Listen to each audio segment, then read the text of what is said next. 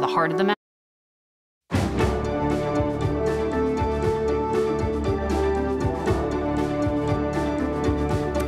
Hello, everyone. Thank you for staying with us or just for joining us now. I am Lana Zak in New York. It is just about 2 p.m. here on the East Coast. We're going to give you a live look at the White House. We are waiting to hear from President Biden.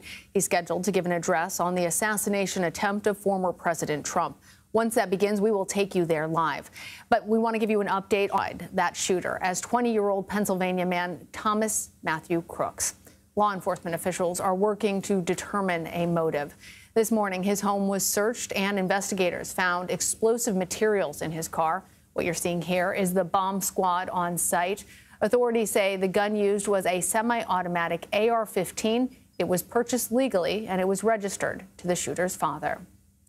The White House has been receiving regular updates on the investigation. This photo was taken this morning inside of the Situation Room. Like we said, we are expecting to hear from the president soon. We did hear from him last night. He described the situation as sick, repeated that, and said that we are better than that. When Biden speaks now, we will take you live to the White House as soon as that happens. I want to bring in now senior White House correspondent Weijia Jiang. You're there at the White House. Weijia, I know you've been talking to administration officials. We understand that the president is going to be briefed again on the incident today and is expected to address the nation. What more can you tell us?